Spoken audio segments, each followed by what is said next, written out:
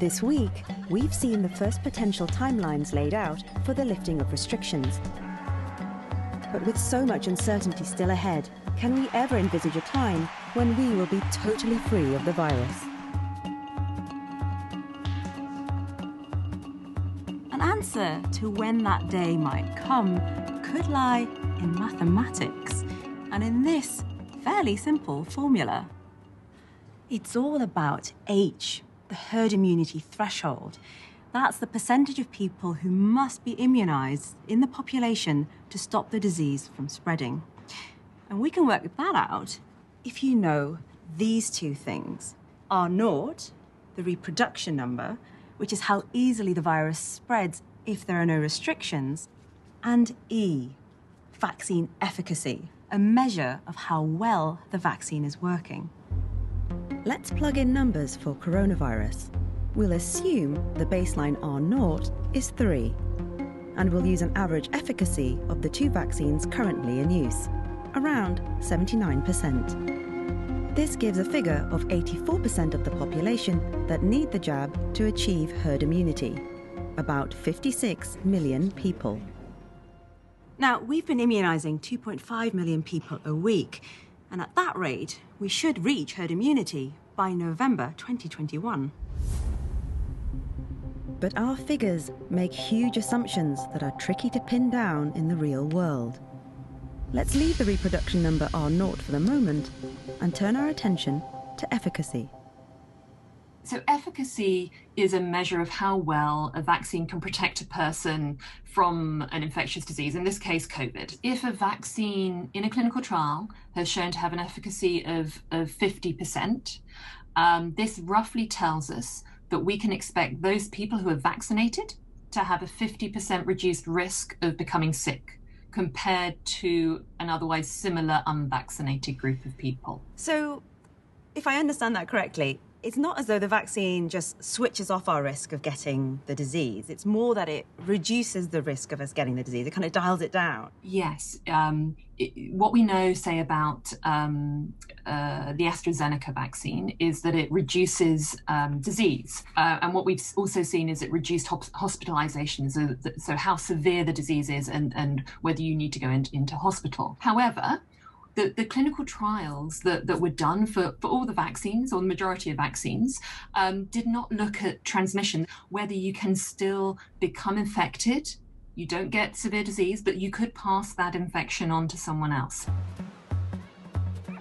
Early indications suggest the AstraZeneca vaccine may reduce transmission by around 67%. But more robust data on all the vaccines is needed. Expressing vaccine efficacy as a single exact figure like this is useful for illustration, but it's a little bit simplistic for real life.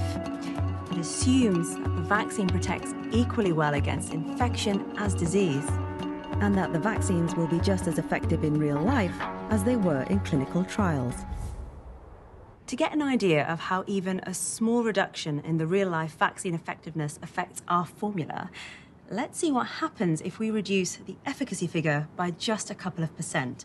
So instead of our 79%, let's use 77. If we do that, what we'll see is that the percentage of people who have to be immunized to reach herd immunity goes up from 84% to 87 and small changes matter. This could delay when we get back to normal by weeks. And then, of course, there's R naught, the reproduction number. At the beginning of the pandemic, scientists thought one infected person would, on average, infect three others. They go on to infect three more, and so it spreads through the population. But epidemiologist Mark Jit has found that the increased transmissibility of new variants could have changed this number. we knew that the proportion of cases with this variant was growing in some parts of the UK. So, what we did then was to take this data and say, actually, what set of parameters for this virus is consistent with what we're seeing in the world? And we found that the new variant was about 50% more transmissible we started off with a reproduction number of three, and so 50% more of, of, that would be around four, four and a half? It's difficult to say because um, we haven't seen how fast this variant spreads without any restrictions at all. But I think our sort of best guess would be about four, four and a half. Yep. Let's be optimistic and use a baseline reproduction number of four. And let's keep our efficacy figure at 77%. What you'll see happening then is that our herd immunity threshold leaps up from 87% to 97%. But will we ever be able to vaccinate that many people in reality? So, Roy, herd immunity actually works really well, doesn't it, with some diseases? It works very well. I mean, the best example in the United Kingdom is the introduction of measles vaccination roughly in 1967 68. And slowly, over a period of a few decades, we built up sufficient immunity in the population that measles went from 800,000 cases a year down to less than 1,000 cases a year. We eradicated the transmission of measles um, in the community. In Britain, our success against childhood measles shows that achieving very high vaccination levels against COVID 19 might be possible. But there's one other real world thing to consider. We've got new strains coming into play.